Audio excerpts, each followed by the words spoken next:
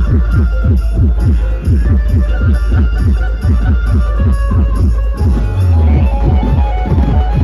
you.